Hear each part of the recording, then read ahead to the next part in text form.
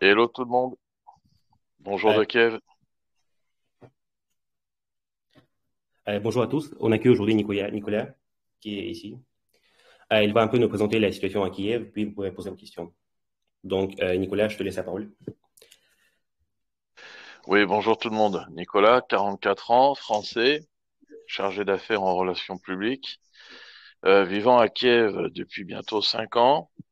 Donc voilà, Euh, j'ai rencontré Dédé par hasard euh, hier, au hasard d'une discussion. Euh, je lui ai expliqué certaines choses. Je suis euh, à l'intérieur de Kiev, à 7 kilomètres exactement de Maïdan. Donc, il y a pas mal de choses. Je sais qu'on va me poser des questions, fake news, pas fake news. J'ai expliqué certaines choses. Il y a même des vidéos que je pourrais montrer ultérieurement via le forum de DD sur Neodia. Certaines vidéos peuvent être choquantes parce qu'en Ukraine, ils ne cachent pas les... Euh, donc, euh, voilà. Écoutez, je suis à votre écoute. N'hésitez pas à me demander. euh, je- j'essaierai de répondre. Excusez-moi, je suis pas journaliste, mais je vais faire de mon mieux. Euh, d'accord, très bien. Donc, euh, si tu veux, on peut commencer par poser les questions. C'est ça? Tout à fait. Donc, s'il y a des questions, n'hésitez pas. Je suis là, je vais y répondre. D'accord. Donc, euh, il y a plein de gens qui ont levé la main. Je vais choisir au hasard.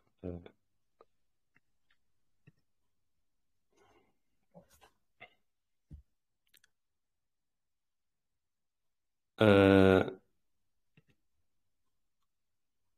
Dis-moi, quelles sont euh, les coup, questions? euh, Sako, tu peux parler, si tu veux. Euh, Ibrahim? Oui, ça va? Ah oui. Oui, ça va? Oui, Ah ça, oui. ça, ça, ça va, je t'écoute. Voilà, j'ai actuellement je suis au Mali. Oui. Et D'accord. Donc, ce que j'aimerais savoir, euh, actuellement, la position entre la Russie et l'Ukraine, qu'est-ce qu'on peut dire clairement pour qu'on puisse comprendre? Ah, situation entre eux. Alors, pour faire très très court, parce que tu sais, beaucoup de gens parlent sans savoir exactement. Euh, alors, ce que je vais dire, moi, je suis déjà, je vais commencer, je vais être très clair, je, je, je suis ni pro-russe ni pro-ukrainien. Euh, les choses que je vais dire, je suis cartésien. Donc, les choses que je dis, vous pouvez vous-même aller chercher les informations, vous les trouvez par vous-même sur Internet, elles sont pas cachées. 2014, la CIA elle a financé le putsch d'un président qui avait été élu démocratiquement. À la suite de ça, euh, ils se sont arrangés pour avoir des gens, parce qu'une élection se manipule très rapidement, très facilement. Euh, c'est pas à toi que je vais l'apprendre au Mali et euh, ou en Afrique de l'Ouest en général. Et donc à partir de là, on a eu un, un pouvoir euh, pro OTAN, pro USA et qui s'est mis en place. Et il y a eu le Donbass qui est et l'UNESC qui s'est dit bah nous euh, on veut pas de votre contre-pouvoir. Vous nous obligez à parler l'ukrainien en langue, en écriture dans les écoles. Vous nous faites renier nos racines. Et à partir de là, il y a eu ces deux régions demandé leur indépendance. Et en réponse, on leur a fait la guerre pendant huit ans. Euh, je dis pas c'est bien, c'est mal. Hein. J'explique juste les faits très très vite pour que les gens comprennent. À partir de là, euh, le traité de Minsk avait été euh, vu avec les États-Unis. Bon, il y a eu plusieurs pays et, euh, et la Russie derrière n'a jamais été respectée. Donc la guerre a été maintenue, les bombardements incessants. Il y a eu des milliers de personnes qui sont mortes, mais ça on n'en parle jamais trop parce que c'est pas l'intérêt des États-Unis de le dire.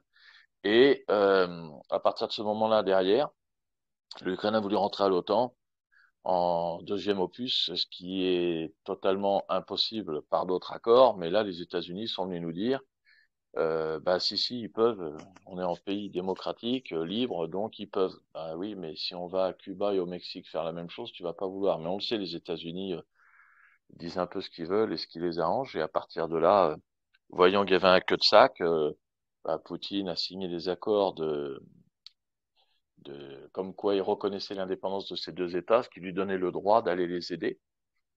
À partir de ce moment-là, on se dit, bah, ça va dégénérer, mais déjà, ça faisait une semaine auparavant que Zelensky, alors qu'il y avait une grosse tension déjà avec la Russie, que les troupes s'étaient euh, accumulées, a augmenté les frappes. Vous voyez, il y a un non-sens, mais c'était voulu. Et ce que personne n'a vu venir, nous-mêmes en Ukraine, c'est que le jeudi matin, entre 4h et 7h, ça a tapé très fort sur tous les points stratégiques. À partir de ce moment-là, il a tout simplement, on aime ou on n'aime pas, je ne juge pas, Il a tout simplement voulu dire au monde, voilà, vous m'avez menti, Français, euh, l'ensemble de la population en Europe, enfin la population des, des politiques, pardon, vous m'avez menti, vous m'avez manipulé, ben maintenant ça fait huit ans que vous me prenez pour un con, je tape du poing sur la table et je vais faire tomber le pouvoir américain et on va remettre les choses en ordre et vous allez rester chez vous et moi chez moi. Voilà en gros hein, la situation ici. D'accord, merci beaucoup. Euh, tu viens de dire. Voilà, j'ai bien compris, j'ai bien compris. Donc euh, l'explication qu'il m'a donnée, c'est tout à fait exact. Vraiment, c'est très très éclairé. merci. bonne journée. Bonne journée, Sako. À bientôt. Donc, euh, je, je, vois, il y a Sidi. Je vais prendre Sidi. Ouais, Sidi, je t'écoute. Alors, je vois, je vais reprendre, donc. Allô, allô, allô, est-ce que vous m'entendez? Oui, oui, oui, j'entends. Ah, Alors, je sais pas qui est là, du coup, j'ai perdu le fil. Sidi. C'est Sidi. Oui, Sidi, je t'écoute. Ok, merci, merci en tout cas à toi, Nicolas, et merci en tout cas aux participants, et merci à Néodia de d'avoir organisé en tout cas ce, ce, point d'échange avec quelqu'un un peu qui est sur le terrain. Merci en tout cas pour l'éclairage que tu viens de nous faire. Moi, ce que je vois évidemment sur les différents groupes Telegram qui existent un peu là et à lesquels je suis connecté, il y a, il y a beaucoup, beaucoup d'informations qui circulent. Évidemment, moi, je suis euh, un, peu comme toi, je suis ni pro-russe ni pro-ukrainien. Ce qui, ce qui m'inquiète, c'est évidemment pour les civils innocents qui vont, qui vont subir un peu ces, dommages collatéraux. Et euh, ce que j'aimerais euh, avoir comme éclairage, c'est évidemment, il y, a, des, informations qui circulent que la population russe et, ukrainienne sont, plutôt considérées comme, comme fraternelles. Et il y, a un truc qui m'interpelle, moi, c'est quand le président ukrainien appelle à, la population, en tout cas, les hommes notamment, de prendre des armes, de, de construire des cocktails Molotov. Est-ce que ce genre d'information est vrai ou, euh, ou c'est de la manipulation médiatique pour, euh, pour, euh, pour effectivement, voilà, pour désorienter un peu ce qui se passe là-bas Est-ce que je suis clair ou est-ce que tu veux que je, je reformule? Non, tout à fait, Sidi, très très clair. Alors, si tu veux, euh, Dédé, qui est le gérant de Neodia, euh, je lui ai montré justement des contre-vérités. Je vais faire juste un petit point là-dessus. Euh, par exemple, il y a une image que vous avez vue en boucle, apparemment à la télé, parce que j'ai mes enfants qui sont en France euh, qui, qui m'ont dit ça, où on voit un char qui d'un seul coup se jette sur une voiture, un char euh, euh, russe. Oui, Donc, par exemple, bah ça, tu vois, c'est là et je l'ai vu, hein, je l'ai vu sur euh, Fox News euh, à la télé ce matin et j'ai putain les mecs quand même. Euh, L'image c'est pas ça. En fait, ce qui s'est passé, j'ai montré. Alors, je pourrais vous envoyer sur le forum si ça vous intéresse à Neodia. Il a toutes les infos avec les contre-vérités. Euh, alors il y a des images qui vont vous choquer parce que il y a des morts en direct, donc c'est pour ça que bon je je, je le préviens d'avance. Euh, par exemple, l'histoire de ce char, pour faire très court, mais tu vas comprendre. Alors, quand je l'ai vu en premier, je dis, ah la vache, on voit les Russes qui arrivent, et puis il y a une voiture qui arrive et je jette dessus. Et puis après, on voit une deuxième vidéo où le mec est pas mort. Putain, les Russes, sale con, euh, vous avez failli tuer quelqu'un, heureusement, le, le, le, mec a survécu. En fait, dans la réalité, il y a un, il y a un véhicule sur une troisième vidéo que DDA, euh, et qui vous, vous montrera, ça vous permettra de rétablir la vérité, par exemple, une des, des nombreuses fake news qui ont été lancées, et eh ben, il y a un véhicule avec des, des piégeurs euh, euh, russes. Donc, ils ont un camion euh, qui roule rapidement avec une mitraillette à l'arrière et ils tirent sur tout ce qui bouge à droite à gauche. Que leur fonction, eux, c'est de rentrer dans la ville, de repérer et de nettoyer un petit peu et d'envoyer des informations. Et ils se font tirer dessus. Le chauffeur meurt. Le, la personne qui est derrière saute du camion, il se fait tirer dessus. Euh, ça tire de partout. Et puis euh, là d'ailleurs, il y a des Ukrainiens de l'armée qui se déplacent. On parle de la Convention de Genève, vous verrez sur la vidéo, elle n'existe pas en temps de guerre, faut ouvrir les yeux. Il y en a un qui fait le tour et il, il, finit de lui tirer dessus. Donc s'il n'est pas mort, au moins il est mort. Et au même moment, il y a un char euh, qui porte du personnel léger dedans, qui arrive à toute vitesse pour euh, venir à sa rescousse. Et là, quand il tourne et qu'il arrive juste derrière ce camion qui vient de se faire interpeller, euh, voilà, mitraillé, et ben il y a une voiture qui arrive et là, boum, ils jettent dessus. Mais on est en pleine guerre, donc une voiture, c'est souvent des miliciens chargés avec des armes. Donc quand on remet ça dans le contexte, vous verrez la vidéo, ah bah oui, c'est défense, attaque, on se comprend. Sorti du contexte, euh, ils sont méchants, ils sont venus, ils ont roulé sur la voiture. Voilà, premier point. Mais ça, des nombreuses contre-vérités, il y en a. Maintenant, effectivement, j'ai été moi-même choqué Euh, hier, quand les, Russes, il faut savoir que jeudi, ils ont bombardé entre 4h et 6h30 et 6h30, 7h, euh, à peu près 80 points stratégiques. Donc nous, on a été réveillés. Euh, euh, les sirènes, on les a pas entendues. Il y a des endroits à Kiev où les sirènes ne fonctionnent pas. Euh, c'est les gens entre communauté, la famille, tout ça, belle famille qui a appelé. Donc panique totale. On ne sait pas ce qui se passe. Personne comprend à ce moment-là que la guerre est démarrée. On nous dit ça bombarde de partout, les Russes tuent tout le monde. Vous voyez et les informations ukrainiennes disent justement tout le monde va mourir, euh, les Russes tuent tout le monde, population civile compris, donc fake news, mais qui vient du côté des, de, de l'Ukraine. Et à ce moment-là, mm. on essaye de prendre toutes les informations au préalable. Et euh, à l'entrée de Kiev, où il y a le barrage, aux alentours de midi, donc ça a été très vite, on avait les premières frappes d'hélicoptères. Et là, j'ai été choqué parce que j'ai vraiment pris conscience que la guerre était là. Parce qu'en plus, à cet endroit-là, il y a un terrain que je veux acheter. C'est magnifique, on a la vue sur euh, le Dniepr. Et donc là, on prend conscience que les Russes sont vraiment là, mais on n'a pas encore l'information est-ce qu'ils sont en train de tuer les civils ou pas. Vous voyez? Et, et c'est parce qu'on a été pris au dépourvu. Donc moi, j'ai les gens, ah, tu veux pas rentrer? Bah non, ma femme est ici, ma fille, la belle famille, donc je reste ici. C'est un choix. Et puis partir, partir où? On ne sait pas qui est qui, qui est où, si tu les civils ou pas. Faut, faut comprendre. Hein. Entre les fake news, et la réalité, c'est très très compliqué. et donc, pour, bien comprendre, Nicolas, mais toi, l'information où, le président ukrainien appelle à armer la population, il l'a dit. Est-ce que c'est vrai? Il l'a dit. C'est-à-dire qu'en fait, les, jeudi matin, c'est pour ça, jeudi matin, si tu veux, c'est pour que tu comprennes le tempo, on a été dépassé. Les Russes sont arrivés aux portes euh, déjà, parce qu'en fait, ce qui s'est passé, hmm. c'est que pendant que ça tapait à Kharkov et dans les quatre coins du pays, euh, toutes les troupes euh, d'aviation, hélicoptères et tout, elles sont venues frapper les points stratégiques plus précisément et puis endommager déjà les premières lignes qui détenaient Kiev. Et à ce moment-là, quand le président a vu qu'il prenait l'eau, il a, la loi martiale a été passée dès le matin. Donc euh, moi, je suis armé ici. Euh, euh, tout est, on a le droit de tirer sur toute personne qui vient t'attaquer. C'est la loi martiale. Donc là, tu peux sortir dans la rue et flinguer le premier con qui t'emmerde, si je puis dire. Ah, c'est fou. Ah, clair. Et, et donc ça. Et jeudi soir, des, des, contingents russes, les hommes chers à canon, ont commencé à, à percer les lignes dans la capitale, au niveau d'Obolon. C'est à 8 km à vol d'oiseau de chez moi.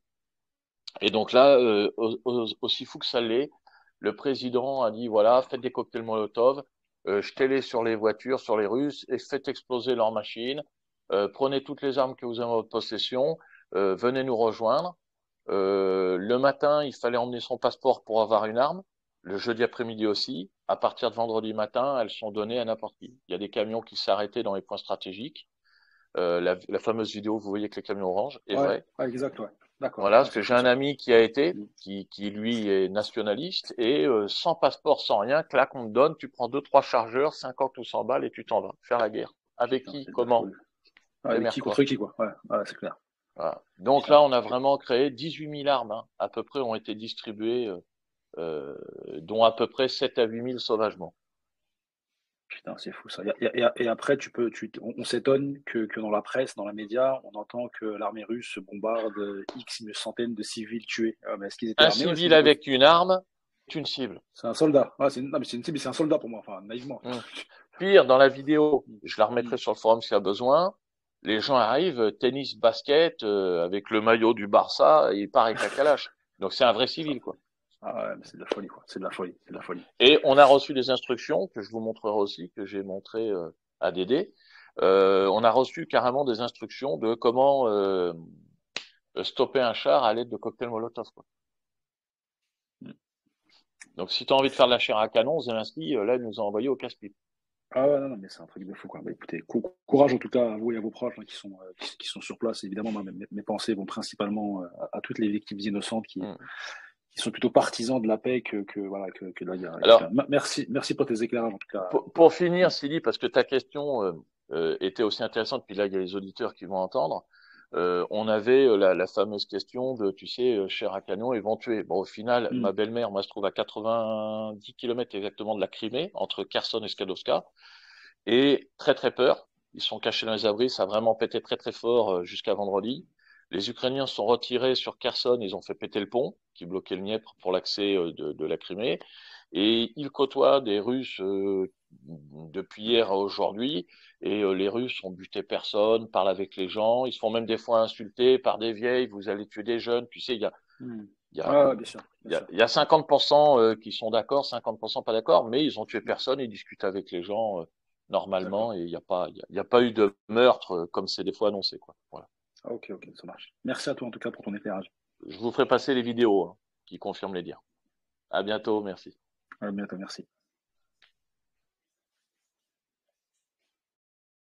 Alors là, j'ai pris dans l'ordre. Donc là, il y a quelqu'un qui a dû venir se rajouter. Alors, je vois, il y a Christophe. Alors, je sais pas. Est-ce qu'il y a quelqu'un qui est en ligne? Euh, Christophe. Alors, est-ce que Christophe est en ligne là? Alors, je vois Mathieu à l'écoute, que ça bouge vite, donc des fois, j'ai pas le temps de, de prendre tout le monde. Euh, alors, Mathieu? Alors, alors, alors, il y a Jou qui revient, donc je vais. Mathieu, tu es là? Euh, Il faut appuyer sur le micro si tu parler. Vous m'entendez Oui, Mathieu. Allô? Oui, bonjour. J'aurais une question. Euh, j'ai entendu comme quoi donc le président Zelensky n'est plus à Kiev. Euh, je voulais savoir si cette information était vraie et apparemment les vidéos qu'il avait tournées dans Kiev étaient des vidéos préenregistrées. Euh, je voulais savoir si c'était une vraie information. Alors, c'est la question que je me suis posée. Très bonne question parce qu'effectivement, euh, il a dit voilà, je suis toujours là. Vu les yeux qu'il avait ce matin, euh, il avait vraiment des petits yeux, donc on voit bien que je pense que la nuit a été courte. Euh, mais je pense honnêtement qu'il est resté à Kiev. Je pense qu'il est resté à Kiev. Euh, alors moi, ce qui m'a juste donné l'indice, c'est que j'ai regardé tout de suite le paysage, la, la, météo qu'il avait au-dessus de sa tête à l'instant T. Vu que je suis à Kiev, voilà. Et je pense, je pense que qu'il est encore à Kiev à la minute même. Voilà. tout simplement parce que je pense qu'il croit encore que en faisant, le, en tenant Kiev comme il est en train de le faire, que des gens vont se dire merde, on est obligé d'y aller, alors qu'en fait personne ne viendra. J'ai j'ai aussi vu euh, une vidéo euh, mettant en scène justement dans Kiev euh, des personnes qui courent effrayées par les bombardements. je voulais savoir si ce, ce genre de vidéo existait, si c'était réel ou ou pas. Alors, tu as, toujours une panique, mais elle est quand même relative. C'est-à-dire que euh, oui, quand il y a une sirène qui sonne, tout le monde a peur et tout le monde court, mais euh, ça court pas euh, partout. Il y a un quartier, un endroit précisément. Euh, tu serais étonné si j'ouvrais la caméra que là où je suis, euh, à part avoir vu les missiles de ce matin qui sont partis, qui tournent partout dans les médias, on y reviendra aussi avec les fake news là-dessus. Euh, c'est calme, les petits commerces sont ouverts, les gens font attention. Il y a quand même une vie dans la guerre, c'est impressionnant, c'est la première fois que je vis la guerre de l'intérieur. Euh, très anxiogène le premier jour, et puis après, on, s'y fait un petit peu, mais en vivant avec toujours l'angoisse qui est euh, la guerre civile, qui, enfin pas la guerre civile, mais que les barricades reculent, et puis après, euh, c'est les civils qui sont mélangés au milieu des soldats, et c'est là où ça part en couille à chaque fois. En effet, j'ai vu d'ailleurs que les Ukrainiens étaient plutôt plutôt calmes et self-control. Euh, mais en revanche, j'ai vu une vidéo de mise en scène, euh, bah justement, de, de, de centaines d'Ukrainiens qui couraient euh, en face d'une vidéo euh, pour, euh, à mon avis, faire de la propagande. Et euh, je voulais savoir en fait si ce genre de vidéo existait vraiment ou ou si c'était encore de la manipulation. il y a eu, il y a eu, il y a eu sur certaines entrées de métro. Euh, quand les sirènes qui sonnent. Euh, voilà, mais la propagande aussi. Alors attention, hein, ce que je vais dire, c'est pas pour décrier les personnes du gouvernement, mais il y a beaucoup de contre-vérités dans une guerre hein, des deux côtés.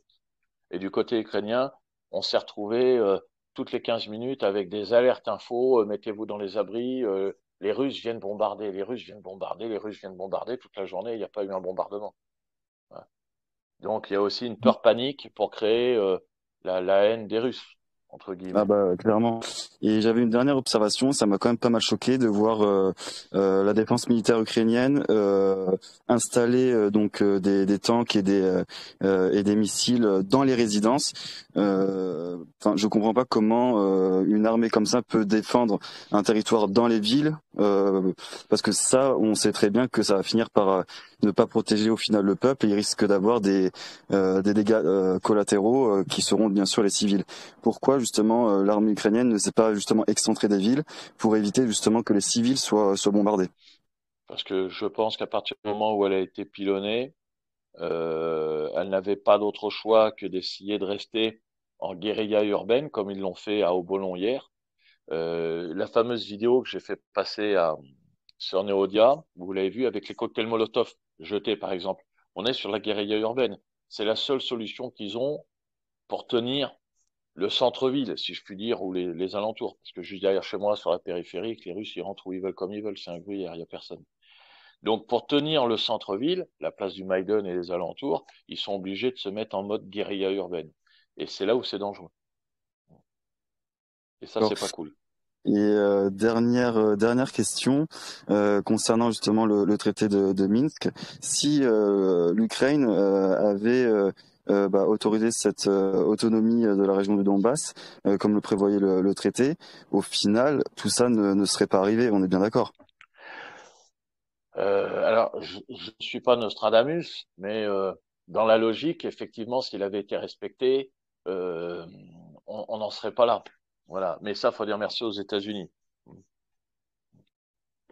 Parce que comme je l'ai expliqué tout à l'heure au départ, c'est, euh, vous, vous, cherchez vous-même les infos, vous les verrez. La CIA a financé en 2014 le putsch du président et a toujours financé. Un pays comme l'Ukraine qui est pauvre euh, n'a pas les moyens de tenir une guerre et de payer des missiles pendant huit ans à taper sur le Donbass gratuitement. Quoi. Par contre, les États-Unis ouvrent des lignes de crédit d'un milliard cinq, deux milliards. Comme ça, le mec, il tape dedans, et puis c'est les impôts et contribuables d'Ukraine qui payent une propre guerre auquel il n'a pas envie d'assister, quoi, au lieu de rénover les hôpitaux. C'est pour ça que Zelensky n'est pas clean and clear. Hein. Je dis pas il est gentil, il est méchant, je dis il est pas clean and clear. Quoi. Ok, bah merci pour, euh, pour tous ces, euh, ces éclaircissements. Merci Mathieu, bonne journée, à bientôt. Donc là, j'ai, euh, je vois, je, je vois, je vois, fin, Family. Hop. Alors, alors j'ai Badgioju qui voulait parler. Alors j'ai Naps. Donc j'ai Badjo qui voulait parler. Je t'ai ouvert le micro, mais je te vois plus. Euh, pour parler, il faut appuyer sur le micro. Ouais, ouais, c'est ce que j'ai fait. D'accord, oui. Bonjour. Autorisé à parler. Oui, t'es là? Oui, oui, je suis là. Bonjour. Oui, bonjour. Je t'écoute. Euh, J'ai une question qui me taraude l'esprit depuis. J'aimerais savoir quelles sont les véritables raisons de l'entrée de la Russie en Ukraine. Vu que les médias en parlent, mais euh, je trouve qu'il y a encore beaucoup de points d'ombre. Alors, ben, je l'ai expliqué tout à l'heure, en fait. Alors, je vais faire très très court. À partir de 2014, il y a eu un putsch financé par la CIA pour faire partir le président. Et à partir de là, euh, il y a eu, euh, les gens sont arrivés un petit peu extrémistes en disant voilà, maintenant euh, c'est l'Ukraine, il y aura plus, on parlera plus russe, on n'écrira pas russe à l'école, blablabla. Bla, donc c'est toute une culture à qui on demande de s'effondrer. Et il y a deux, deux régions qui elles disent bah non, nous on veut pas, on demande notre indépendance, en gros. Et à partir de là, plutôt que de discuter ou de trouver un terrain d'entente, on leur a fait la guerre pendant huit ans. Bien ou pas bien, chacun est juge, euh, mais euh, c'est ce qui a créé euh, une partie du conflit. Des accords de Minsk qui avaient été signés pour justement euh, éviter qu'ils soient bombardés, qu'on stoppe au moins la guerre le temps qu'on trouve des solutions, et ça n'a jamais été respecté. Voilà. Donc à partir de ce moment-là, Poutine a tapé du poing sur la table pendant des années, tout le monde lui a rigolé au nez. Et puis quand l'Ukraine a décidé de rentrer sous l'OTAN, à partir de ce moment-là, là, il a pété les plombs, il a compris que tout le monde lui mentait.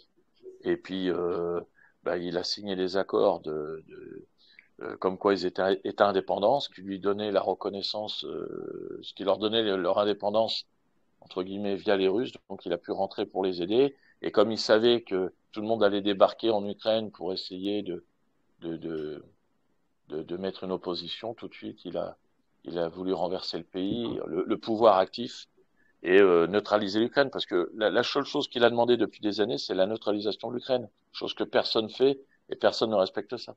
Il n'y a qu'à regarder la carte. Alors, je ne suis pas pro ou contre ou pour, mais vous avez qu'à regarder la carte euh, de l'OTAN. Je, je, la mettrai sur le forum aussi, euh, si vous voulez, et vous verrez par vous-même ce qui s'est passé en 20 ans. Quoi. D'accord. Merci. Et j'ai une dernière question. Euh, j'aimerais savoir si l'Ukraine bénéficie-t-elle effectivement de l'aide des pays alliés à travers l'envoi des troupes, par exemple? Non, ils en auront jamais. Et alors, euh, pareil, ce qui a étonné tout le monde, c'est euh, on va vous envoyer des munitions et des armes. Alors comment? Parce que l'espace aérien il est fermé, donc vous pouvez pas rentrer, sinon vous allez vous faire abattre. Vous pouvez pas venir par train ni par camion parce que les, les, les, Russes entourent la capitale. À la minute même à laquelle je vous parle, ils sont déjà du côté euh, sur les grands axes, donc tu tu peux pas y rentrer. Donc là, pareil, euh, c'est quand même un petit peu vache pour euh, les nationalistes ukrainiens qui croient qu'ils vont recevoir des armes alors qu'en fait les armes peuvent pas venir. Wow. Bon, je vous remercie, Monsieur KS. Je suis plutôt satisfait. Merci. Pas de souci, Lou. À bientôt, merci. Euh, j'ai une question un peu personnelle. Euh, j'ai entendu qu'il y avait environ 300 Français euh, en Ukraine. Est-ce que vous avez été con- contacté par l'ambassade ou pas du tout? Alors, par, ça- c'est très bonne question. Euh, moi, je suis inscrit sur euh, l'ambassade depuis le début ici comme euh, Français résident à l'étranger. Euh, j'ai pas reçu d'appel, certains ont reçu des appels. J'ai reçu un maigre message euh, lundi en disant il y a des tensions qui vont être créées suite à la signature, mais tout va bien, prenez juste un peu d'eau, un peu de nourriture chez vous. Et puis après, j'ai reçu un fameux message euh, pour nous dire euh, il y a des tensions, euh, la guerre est déclarée, donc restez chez vous le temps que évitez de sortir, voilà. Et puis j'ai reçu un message cet après-midi qui dit c'est la guerre. Putain, on est fort quand même à l'ambassade, ça fait trois jours on vient de recevoir un message. C'est la guerre, restez un maximum chez vous, blabli blabla. Bon, nul à chier quoi. C'est-à-dire on a une ambassade qui sert à rien, je le dis, je le redis et euh, incapable d'envoyer des news en temps et en heure. Par contre, quand c'était le Covid, là, j'en recevais régulièrement, vient de faire piquer, c'est gratuit. Par contre, pour la guerre, euh, démerde-toi. quoi. Euh, d'accord. Et pour le, pour l'évacuation, est-ce que tu as reçu des propositions de... Jamais. Ah, d'accord. D'accord. Merci. De rien. Donc, je vais prendre axe de la résistance, ouvrir le micro, c'est fait. Je crois qu'il y a une petite inertie de 3 secondes. Alors, est-ce que tu es là? Alors, j'ai David Ma qui est là. Bonjour, je sais, qu'on m'a donné la parole, je sais pas si c'est à moi qu'on parle. Voilà, que- si c'est bon, c'est bon. Voilà, en fait, j'ai appuyé, mais à chaque fois, il y a une petite euh, latence. Je t'écoute. Bonjour. Bonjour, alors déjà, je, je suis euh, fondateur d'un groupe Axe de la Résistance, on relie, on relaie pas mal Alors, ton réseau est très mauvais, je t'entends très très mal. d'infos de Néodia, là j'essaye de relayer en même temps, si jamais vous me permettez les, vos propos de- d'écrire. Désolé. Alors, je voulais savoir, en fait, ma principale question, c'est j'ai l'impression que les États-Unis ont vraiment poussé l'Ukraine à la guerre en, en faisant croire à leur soutien à Zelensky, c'est un peu ce dont vous parliez, et que finalement, ce qui me surprend, c'est leur, euh, leur, euh, leur absence de soutien. Est-ce qu'on peut expliquer ça comme un piège pour faire entrer Poutine dans l'Ukraine, euh, non pas un piège militaire où les, qui se, renfermerait sur lui, mais peut-être plus sur le, fait de le pousser à ne plus respecter le droit international? Quel est, votre avis là-dessus? Est-ce qu'il pourrait s'agir d'un piège et lequel? Alors, mon avis, comme celui-là de certains Ukrainiens, j'ai pas mal d'amis avec qui on, en parle librement, quelles que soient les opinions euh, politiques, euh, c'est que c'était gagnant-gagnant pour les États-Unis. Voilà. Soit il se tait et on vient et on fait notre petite popote ici, et soit il passe la ligne, entre guillemets, et on le diabolise, et on aura comme ça le, le plein plaisir de pouvoir le diaboliser comme d'habitude. Ok, je vois, merci. Euh, juste une autre petite question, parce que moi, ce qui m'intéresse, c'est essentiellement le Moyen-Orient. Est-ce que vous pensez qu'on est en train de mobiliser euh, les forces russes essentiellement sur la Russie euh, pour éventuellement plus tard pouvoir avoir une pénétration américano-sioniste ou de l'OTAN plus importante sur des régions comme la Syrie ou l'Irak? Vous avez un avis là-dessus? Ouais, euh, c'est c'est compliqué parce que euh, tous ces pays-là aujourd'hui, euh, l'OTAN, États-Unis euh, est venu, s'est servi, a fait ses courses, a créé un peu de discorde et est reparti. Euh, non, je pense que c'est vraiment, euh, on est on est sur, on est vraiment sur un phénomène de la guerre froide. Voilà. La chose qu'a qu soigné tout le monde, c'est que tout le monde s'est amusé à provoquer. Personne ne s'attendait réellement à ce qu'il euh, débarque. On s'attendait à ce qu'il euh, rentre à Lugansk et Donetsk et à ce qu'il y ait une opposition dans deux régions. Personne véritablement ne s'attendait à ce qu'il fasse ce qu'il a fait. Je pense que tout le monde a été prêt à contre-pied. Voilà. Honnêtement. Voilà, je pense. Ok, merci beaucoup. Merci beaucoup pour... Merci. À bientôt. bientôt.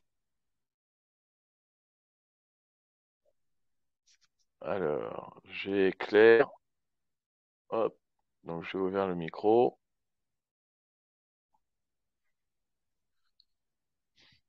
Alors, alors, alors. C'est le problème, je ne sais pas si ça se met à jour au fur et à mesure. Donc, Claire, tu es là? Oui. Oui, bonjour Claire. Oui, bonjour. En fait, je crois qu'il y avait une erreur parce que j'ai levé la main, mais non, en fait, c'était une fausse manip. Mais j'ai pas réellement de questions, mais je vous écoute attentivement. Bon, alors impeccable.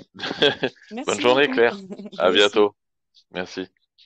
Alors, j'ai Soumela qui est ici. Est-ce que tu es là? Ouais, bonjour, Oui, bonjour. Je t'écoute. comment? Euh, notre, mon inquiétude est de savoir quelle peut être la solution pour la sortie à la crise actuelle en Russie, en Ukraine plutôt? Si j'étais idéaliste et que j'avais une baguette magique, je mettrais la neutralisation en Ukraine, qui est un pays magnifique avec des gens super gentils. C'est un très très joli pays. Je l'adore. Moi, j'y suis, euh, j'y suis par amour. J'y suis pas, euh, j'y suis pas par besoin. Euh, et il faudrait la neutralisation, quoi. La neutralisation, c'est-à-dire, c'est pas que l'Ukraine n'ait pas d'armée, c'est juste qu'elle qu'elle ne rentre pas en OTAN et qu'elle soit neutre, c'est tout. Et, et ainsi, on n'aurait pas les problèmes qu'on a aujourd'hui, quoi. ouais, j'ai compris. Voilà, tout C'était la question. Merci bien. Merci Samuela, à bientôt. Alors, j'ai Legendary Trader. C'est ouvert. Alors, est-ce que tu es là?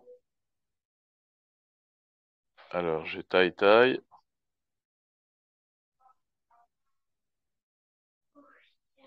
Legendary Trader, t'es là? Tu m'entends? Oui, bonjour. Oui, Oui, justement une bonjour. question par rapport à, à la Russie euh, et l'Ukraine actuellement. Oui. Est-ce que le, la, la, la guerre euh, est possible et surtout pour, euh, pour quelles raisons exactement ça pourrait s'empirer justement sur le territoire euh, ukrainien? Alors, je ne sais pas ce que tu appelles empirer. La seule peur, moi, que j'avais, c'est qu'au bout d'un moment, euh, il y en ait un qui débranche et qui fasse n'importe quoi euh, en Ukraine et que ça puisse porter atteinte, euh, notamment à la capitale. Tu sais, on a explosion de bombes nucléaires ou autres, on ne sait jamais tout ce qui peut se passer, quoi. Voilà. Euh, parce que sinon, la guerre est là. Donc, qu'est-ce qui peut faire empirer? Je ne sais pas. Je ne Bah, vois pas ce qui peut faire empirer. On est déjà, on est déjà dans, dans le pire. Ça, ça tape très dur. Euh, À la minute même, je suis en train de te parler. euh, Ça tape des deux côtés du Rif très très fort pour écraser et rentrer au palais présidentiel. Donc, je ne vois pas, je ne sais pas à quoi te répondre. C'était, c'est quoi que tu attends par pire? Bah, par pire, est-ce que ça pourrait justement en- empiéter sur d'autres pays, ce conflit entre l'Ukraine et la Russie? Non. Et, et surtout aujourd'hui, est-ce que euh, ça, ça peut être pire dans le sens où on peut voir des, des choses qui seront encore plus affreuses que qu'on voit actuellement, même si ça reste quand même pour moi léger actuellement? Alors, euh, léger, oui, parce que justement, les Russes n'ont pas tué, n'ont pas fait de, de, de, de génocide ou de choses bizarres sur la population. Euh, oui, il y aura toujours des morts euh, par ricochet, euh, malheureusement, hein, je veux dire, voilà. Mais euh, non, non, non, je, je ne vois pas ni moi, ni euh, je, je suis énormément la politique, la géostratégie et autres, et je ne vois pas la Russie aller autre que renverser le pouvoir en Ukraine et repartir, honnêtement. D'accord. Merci beaucoup. À bientôt, merci. Alors j'ai Tai Tai. Est-ce que tu es là, Tai Tai?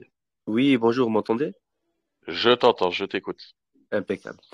En fait, je voulais vous poser la question suivante. Est-ce que vous ne pensez pas que euh, Poutine est de mèche avec euh, l'Europe, l'Amérique et, et que cette crise, on va dire, euh, elle, elle est en avantage par rapport au coronavirus de, de faire disparaître un petit peu la, le scandale qui, qui devait apparaître? Alors, je, je, moi, je suis quelqu'un de très ouvert. Hein. Le mot complotiste, pour moi, il n'existe pas. Complotiste, il a été créé pour ceux qui veulent euh, détracter la vérité, si je puis dire. Euh, je ne pense pas. Disons qu'il y a quand même déjà huit ans que Poutine tape du poing sur la table avec cette situation-là. Euh, maintenant que ça arrange nos chers euh, politiciens européens ou euh, on va parler de l'Europe pour ce qui nous concerne, euh, et que ça va permettre de cacher certaines choses ou de s'arranger à cacher certaines vérités, certainement. Euh, pour donner un exemple très court, parce qu'on parle toujours des vaccins, de la corruption et tout, euh, dans une de mes fonctions, j'ai proposé le vaccin euh, à un pays, je vais éviter de le nommer pour pas que ça m'attire euh, les foudres. Euh, à l'époque, je le touchais à 5,45, il est placé à 5,65 et euh, le pays l'a refusé. Par contre, a envoyé les services secrets voir pour la grosse firme pour laquelle je travaillais si j'étais bien un représentant légal. Et euh, ils n'ont pas donné suite. Et quelques temps après, le même vaccin a été acheté à 14 euh, dollars et des bananes. Voilà. Donc effectivement, le, le, le, le vaccin, c'est un, un gros scandale, c'est une grosse merde. Ça, c'est mon point de vue à moi, ça n'engage que moi. Et la corruption des élites euh, en a fait son chou gras. La preuve, je peux pas dire les pays, mais je pourrais le prouver, comme je dis pour le reste, euh, assez facilement. Voilà, 5,60 vendu 14 et des bananes. Bon, t'as tout compris, tout le monde se gave. Et euh, l'Ukraine, au passage, a fait la même que les copains. Voilà, j'en dirai pas plus. D'accord. J'ai juste une dernière question, et après j'arrête là. Est-ce que vous pensez que l'Algérie, le Venezuela, l'Iran, tous ces pays-là qui ont du gaz, euh, ils sont de mèche avec la Russie et ils ont coupé les vivres justement à l'Europe, puisque la Russie leur a demandé Alors, c'est bien plus profond que ça, c'est qu'aujourd'hui, euh, certains se sont dit, merde, comment faire? On va se retourner vers Qatar Gaz, des trucs comme ça, ou l'Algérie. Mais le problème, c'est que c'est géopolitique, c'est des dominos. C'est-à-dire que l'Algérie, elle a des traités, par exemple, avec la Chine ou avec, euh, donc tu sais que merde, la Chine est amie de la Russie, même si on dit non, non, ils n'ont pas donné. Il y a eu des accords officiels où euh, la Chine, dans des communiqués de presse, a dit on comprend la situation de la Russie en Ukraine. Ça veut tout dire. Hein, c'est un oui déguisé. Donc euh, euh, personne va s'amuser à couper les lignes euh, de la Russie pour lui prendre son business. C'est géopolitique. Donc les autres, ils ont botté en touche en disant non, non, on a déjà nos clients, parce que je connais un petit peu les hydrocarbures, j'ai un pied dedans. Donc non, non, je ne peux pas, désolé. Hein, c'était une façon de, de, de, déguiser, pareil, de dire non, non, on peut pas, on va pas couper les lignes des Russes. Si on coupe les lignes des Russes, on est mort demain. Surtout, vous savez qu'a été le plus gros acheteur de, de, de, de, de que ce soit gaz, pétrole, tout confondu pour la Russie en 2021 non, non, non, non, je ne sais pas. Euh, les États-Unis. ah ouais, ça m'étonne pas, ça m'étonne pas. Quand je donne les informations que je vous donne, hein, je vous invite à aller les vérifier. Hein. Comme tout à l'heure, je disais, la CIA qui a payé, c'est un secret de polichinelle, tout le monde le sait. Eh ouais, je... c'est impressionnant, c'est incroyable. Donc, on stocke et on va te défoncer, mais c'est la merde. Les États-Unis, c'est, je le pense tout haut, tout fort. En Ukraine, ils ont le plus grand ambassade. C'est plus un ambassade, c'est un, c'est une structure immense. Je pense que ça va changer après le putsch. Mais bon. On espère. Ça, ça n'engage que moi. en tout cas, je vous remercie. Hein. Bien, merci Tata. Donc, j'ai, donc vas-y, vas-y. Par rapport à la mobilisation générale, est-ce que tu as des amis ou autres qui, parce que j'ai entendu que c'était obligatoire pour tout le monde, je sais pas. Alors, on nous dit obligatoire, mais euh, paradoxalement, à l'obligation, moi j'ai mes deux beaux-frères euh, qui ont un 45 et l'autre 40 ans. Eux, ils étaient du côté de Carson. Ils n'ont pas eu de mobilisation, ni sur tes téléphones, ni rien. Ils se sont retrouvés piégés le matin euh, dans la baraque. Et du coup, ils font pas la guerre. Et beaucoup, beaucoup d'Ukrainiens, la preuve, ne font pas la guerre. Parce que quand tu demandes aux gens, venez prendre les armes, tu vois bien que la mobilisation des gens qui sont venus prendre les armes, c'est justement du 18-50 ans. Donc tous ces gens-là n'ont jamais été mobilisés au point de départ. Quoi entre ce qu'on dit et ce qu'il y a, pareil. Mais il y a une, y a désorganisation une... totale en Ukraine en qui Ukraine. fait qu'ils risquaient pas de le faire. Bonjour. Bonjour. Je, je peux intervenir? Oui, Farid, j'ai ouvert le micro exprès. Vas-y. Oui, en fait, je vous écoutais tous les deux. Je crois que le deuxième, c'était Nicolas qui disait, euh, qui intervenait en même temps que toi. En fait, euh, moi, si je, si on, on revient au début du Covid On- et, et qu'on analyse la stratégie des pays, on voit bien que même la Russie, elle valide l'histoire du Covid quand même. On est bien d'accord là-dessus. le Covid, excusez-moi, allez-y. je, je vais juste finir mon, mon, mon, mon, mon idée et après je, je, je vous laisserai parler si c'est possible. Quand, quand on regarde tous les pays ont quand même confiné, ensuite proposé le vaccin, euh, y compris euh, euh, Poutine. faut pas l'oublier.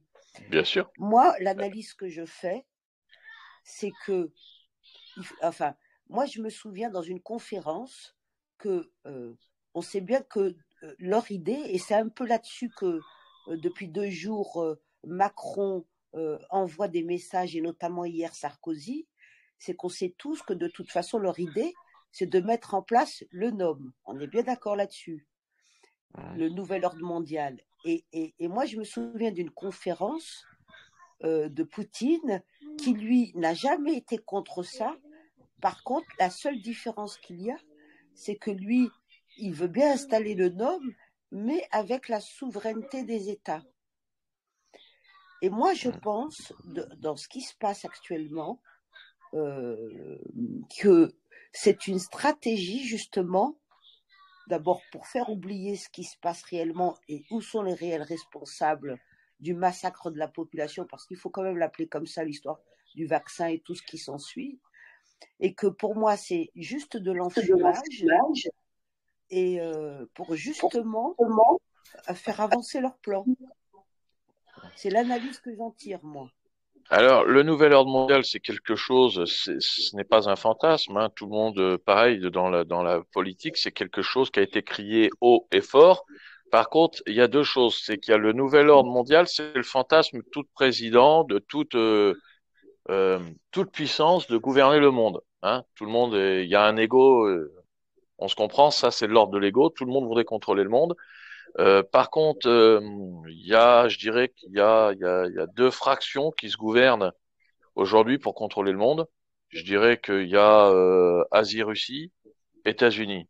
L'Europe, c'est une table de ping-pong.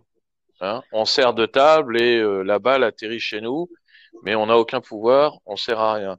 Maintenant, est-ce qu'ils sont complices? Je ne m'avancerai pas là-dessus, mais je dirais qu'il y a, il y y a deux continents qui s'affrontent pour devenir la superpuissance mondiale. Ce n'est pas faux. Au niveau du vaccin, euh, celui-là, le seul qui a été reconnu efficace et à un moment donné, c'était le Sputnik 5. Mais euh, vous ne l'aurez jamais vu parce que pareil, c'était géopolitique, donc impossible de le diffuser. Et ils ont sorti le Sputnik euh, 5 Lite, qui a été mis pas mal sur l'Afrique, qui a eu des bons résultats. Mais pareil, ça intéresse personne le bon résultat. C'était un business avant tout, donc euh, donc euh, le, le fœtus est, est mort dans l'œuf, comme on le dit. Et on nous a vendu du Moderna, Pfizer et toutes ces merdes.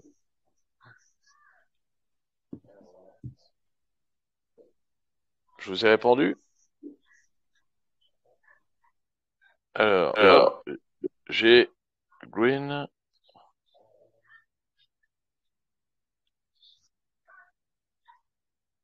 Alors, j'ai ouvert. Vous m'entendez? Bon? Oui, oui, je vous Ouais, écoute. euh, bonjour tout le monde. En fait, euh, je voulais savoir, c'est quoi le but final en fait euh, de chaque partie là, de l'Ukraine et de la Russie? C'est en fait qu'est-ce qu'ils cherchent? c'est quoi qui ferait que la guerre s'arrêterait pour les Russes? Neutralisa- neutralisation du pays. C'est-à-dire ce qu'ils avaient demandé amicalement et docilement, c'est neutralisation. C'est-à-dire que l'Ukraine reste à sa place, puissance à part entière, indépendante, mais euh, sans que l'OTAN puisse intervenir ou prendre des décisions ou contrôler le pouvoir en Ukraine. D'accord. Ouais, ce qu'ils veulent pas, c'est qu'elle fasse partie de l'Europe. Alors c'est bien ça, hein? C'est pas qu'elle fasse pas partie de l'Europe, c'est qu'elle ne soit pas dans l'OTAN. C'est-à-dire que les Américains ne viennent pas déposer des missiles et faire ce qu'ils veulent ici, quoi. Ouais, ouais, bon, bah ça je l'avais bien compris. Bon, bah ok. Merci. À plus, merci. À plus. Donc j'ai Jean-Jacques. Alors, Jean-Jacques, je vous prends au fur et à mesure dans l'ordre. Je ne sais pas si Jean-Jacques est là. Alors, j'ouvre Lily, parce que des fois ça se met après en. Alors j'ai Paps, t'es là? Oui.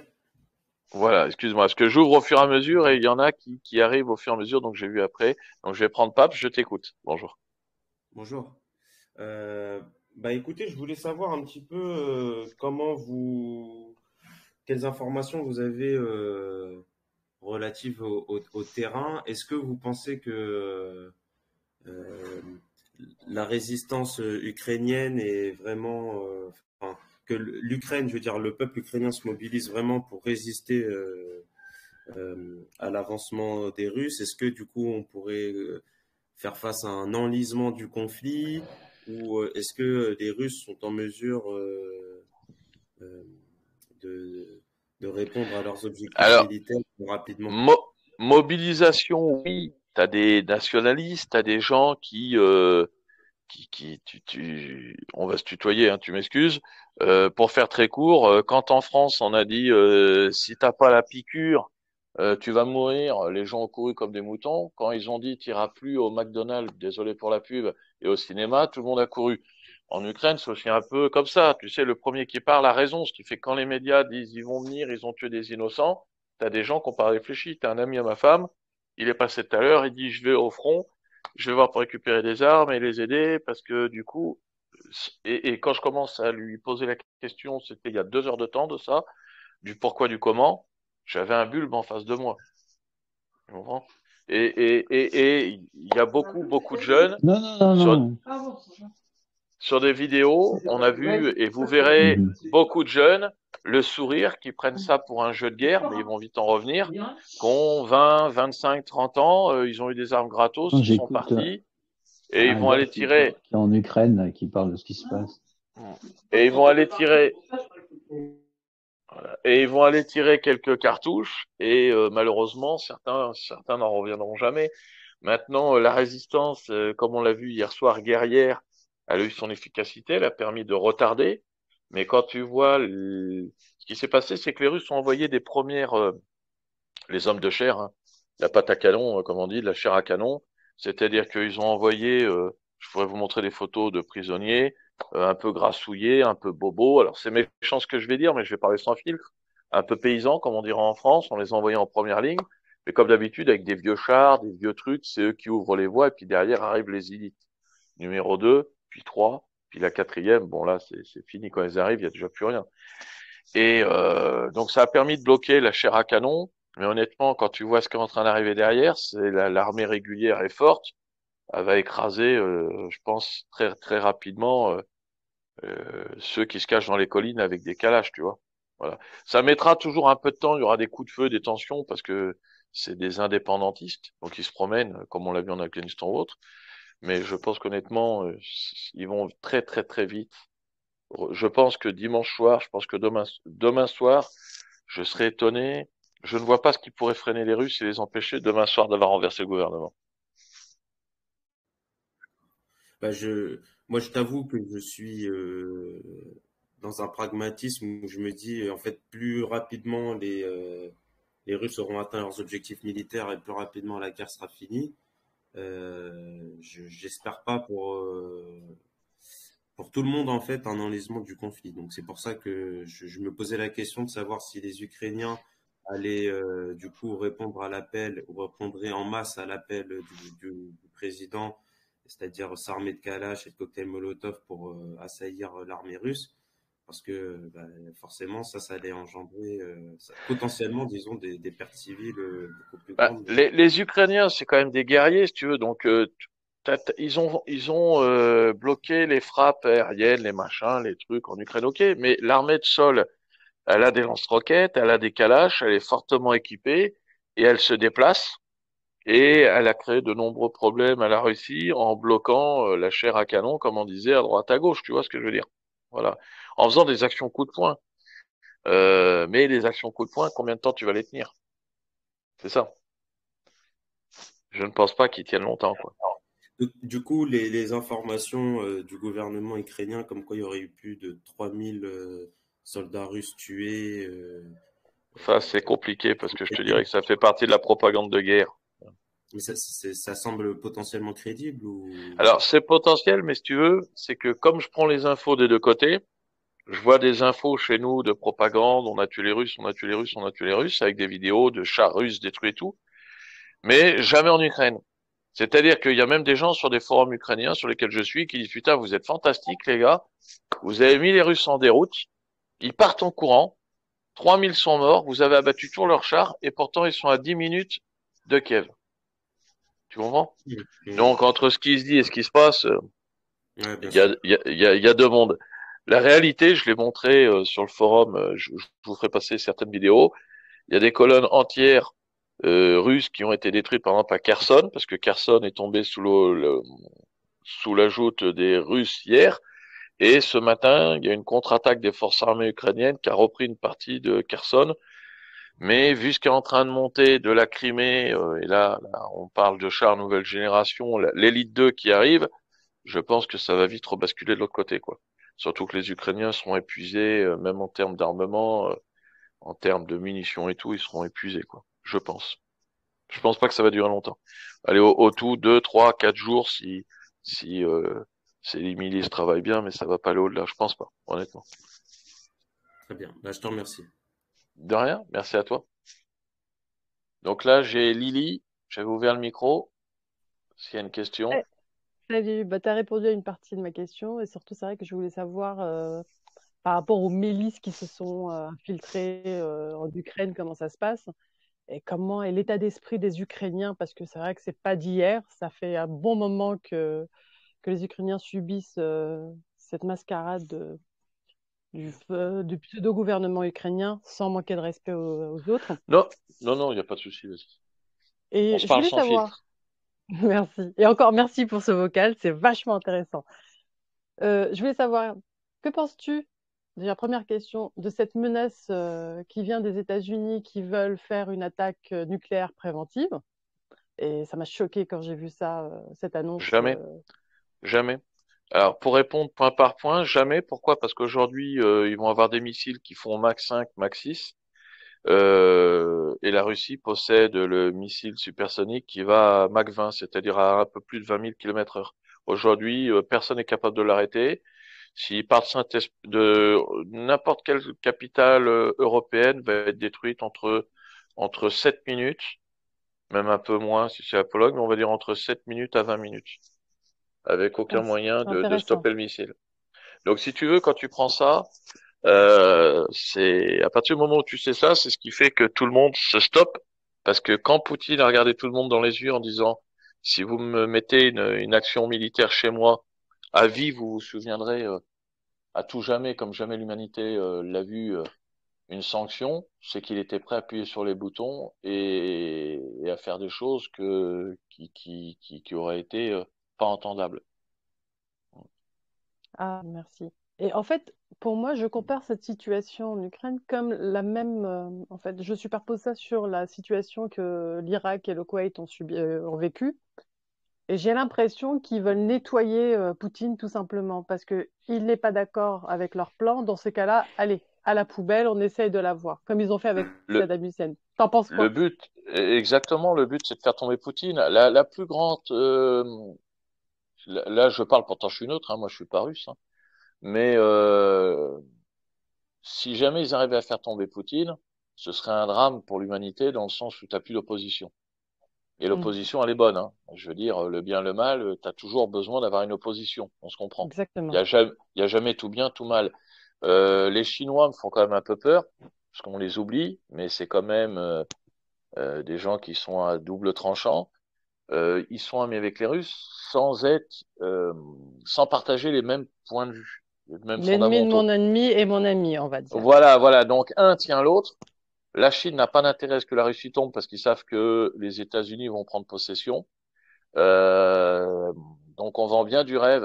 Euh, Je vous le dis, hein, parce que l'Ukraine a, a vu arriver l'Eldorado, l'Europe, super, on rentre tous en Europe avec des passeports, moi dedans, avec son propre passeport. euh, euh, plus besoin de visa. Moi, j'ai connu rentrer en Ukraine avec le visa. Moi-même, je rentrais avec le visa. Et après, sans visa au départ. Et donc là, euh, les, les, comme nous à l'époque de l'Europe, pour ceux qui, qui, ont connu ça, moi j'ai 44 piges, donc voilà, euh, tous les, les, les, Français un peu idiots, parce qu'on est idiots, on s'informe pas assez, enfin pas pour moi, mais pour la plupart, euh, tu signes l'Europe, tu peux aller acheter des cigarettes, c'est ce qu'ils disaient à l'époque. Hein.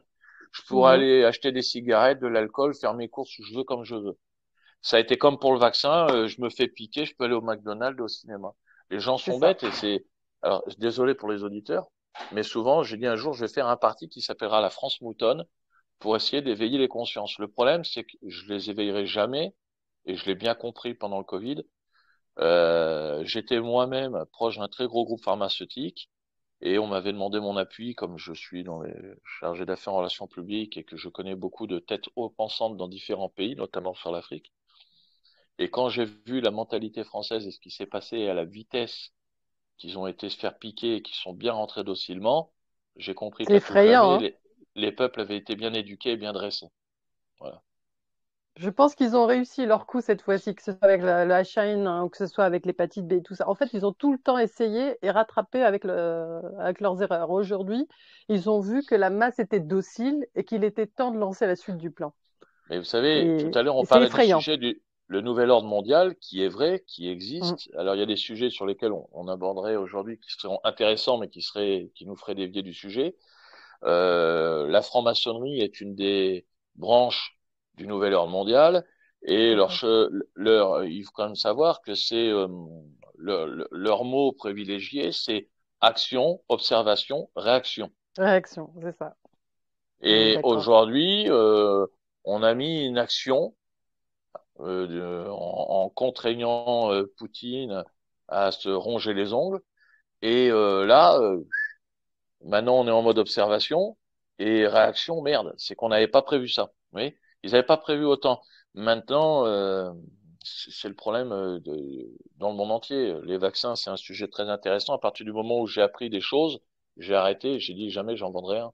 Et du coup, j'ai renoncé à gagner de l'argent. J'en ai gagné sur des masques et sur plein de choses, mais pas sur, pas sur les vaccins. Je, c'est contraire. T'as refusé d'être un dealer, on va dire. Oui, pareil, dans l'équipement militaire, euh, j'ai une double casquette russe et ukrainien je suis chargé d'affaires sur plusieurs missions. Bon, après, je peux pas trop m'étendre parce qu'il y a des choses, voilà, c'est. Et je n'ai jamais, et je ne vendrai pas ni une Kalachnikov, ni de l'armement. Je vends que l'équipement. Euh, j'ai aidé à de l'équipement, euh, euh, gilet pare-balles, bottes, euh, trousses de secours. Alors, on pourrait dire tu contribues, mais tous les business. Sinon, à ce moment-là, il y a celui-là qui le crée, il y contribue. Celui-là qui crée les boîtes de conserve, il y contribue.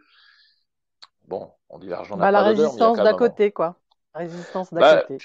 L'argent est le nerf de la guerre, hein Oui, le, exactement. Donc euh, après, par contre, je ne touche pas à ce secteur-là. Euh, je n'y touche pas, mais c'est euh, c'est déroutant. Petite anecdote qui va faire les auditeurs.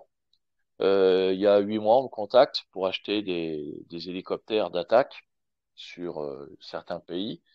Et il se trouve que les, les, les, les hélicoptères sont fabriqués en Russie, et vous savez où se trouve le centre de formation? Non. À Odessa, en Ukraine. D'accord. Donc, ami ennemi, parce que c'est quand même marrant, parce que vous avez le, le c'est vous qui formez les pilotes et euh, tout ce qui va sur la logistique, euh, et pourtant vous êtes en conflit avec la Russie. Je comprends pas. Sur l'équipement militaire, donc euh, ils vendent et ils forment chez vous, et c'est normal. Ça fait partie des petites anecdotes et des petits sourires. Voilà. Bon, bref. Une petite dernière question et après je te laisse et je te remercie énormément. Que penses-tu de notre cher président de la République et de notre élection future? Voilà, et je te laisse et encore merci. Alors, euh, je ne savais pas qu'il y avait un président de la République en France.